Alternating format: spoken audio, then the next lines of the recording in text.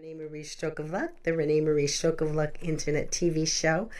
Um, I wanted to do another spotlight segment because I thought this was as important as um, Luke Perry's passing and Whoopi Goldberg's platform on insurance. Um, this is a real milestone for me. Tomorrow, uh, April eighth, um, is was will be my thirtieth anniversary for my stroke. And most people tell me not to hang on to the stroke, that they say don't make it yours, don't hang on to it.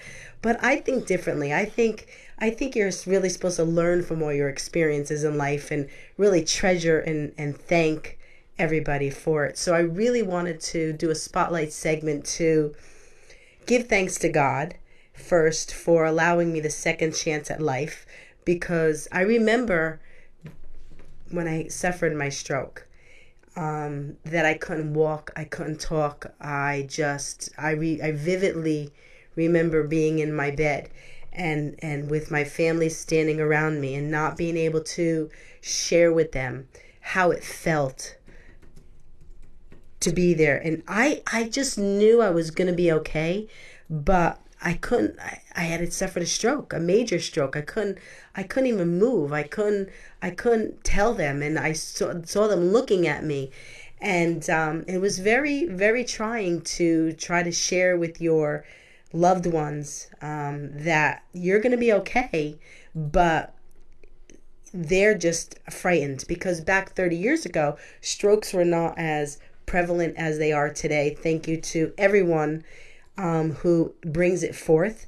Um, you know, the American Stroke Association, the National Stroke Association, all the small stroke associations um, around the world, and aphasia as well. And once again, I suffered from aphasia. That's why it's so important me for me to bring keep strokes and aphasia together because most people that suffered from uh, strokes have aphasia in one form or another. In some, um, it goes back to uh, their normal speaking, and sometimes people can't speak.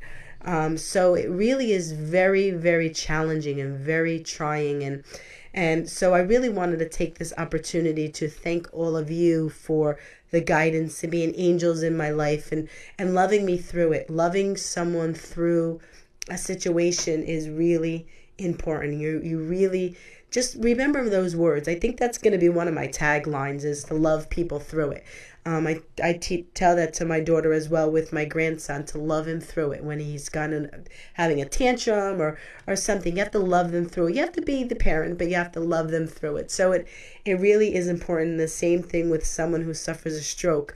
That's why we are so adamant about insurance and government not being – um, play a part of recovery because um, they need to play a part. But the important thing is to be there for the family, and and the family needs as much support as the um, as the patient. You know, because they're experiencing something that they don't know. Um, what they're what they're experiencing and like i was saying that you know strokes 30 years ago were not as prevalent as they are today. Now, at least we know the signs. We know that fast, you know, the the face, um, the arms, if they if one droops down, the um, smile, the speech, um, the speech if you're lisping, or the smile that one of your sides doesn't go, you know, up. Um, you know, it's you can't smile evenly and i can't now because i suffered a stroke. And really time is of the essence. And we keep saying that and we're going to keep saying it until um, you know we, we we you remember that this was our thing. Um, and really when you call 911 because the time is of the essence you need to let the the operator know that it could be a stroke because they will go into stroke mode. So this is this is a really time in my life where um, I think it's the first time in my life where I'm taking a step back and I'm like, oh my God, like I'm so honored to have had all the love and support and and and that's where I learned what is needed to be successful in recovery. It doesn't matter whether it's a stroke or a heart attack or cancer.